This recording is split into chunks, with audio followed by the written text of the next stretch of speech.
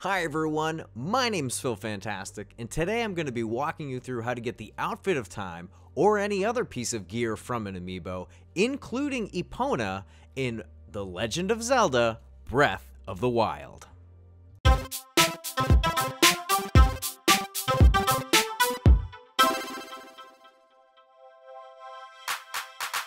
Step 1, you're going to want to get to a safe place. I chose the plateau because, you know what?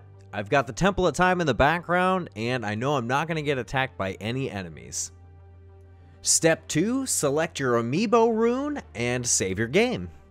Saving your game and then loading it again uh, is basically how this exploit works, so make sure to save in a safe place.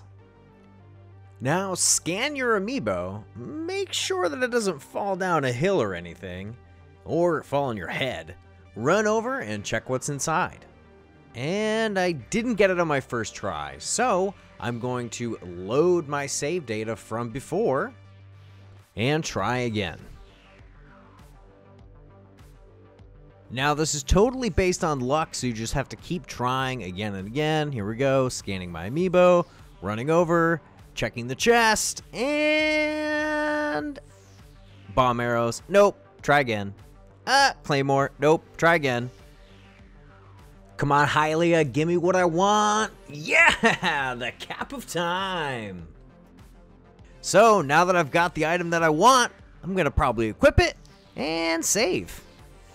Now, you could rinse and repeat this over the course of three days because of the 24 hour cooldown period, but if you're super, super impatient, just go into your Switch's system settings, change the date to one day forward, and go back into your game and repeat this whole process until you have every item or piece of gear that you want. In the description, I have listed all the compatible amiibos that give gear or cool items, and a list of those items. So if you guys want to know what items go with what amiibo, just check out that list in the description. Once you have all the cool gear that you want, I really recommend getting off the plateau if you're trying to get Epona. Epona is rewarded by scanning the Super Smash Bros. Twilight Princess Link.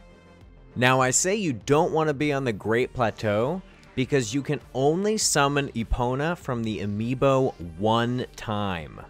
So I recommend standing right next to a stable when you scan to get Epona.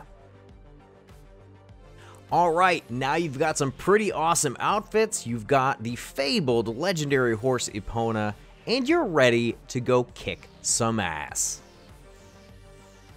For more Breath of the Wild content, click the playlist on the top. If you want to see other Zelda content, click the playlist on the bottom. And I'll see you guys next time.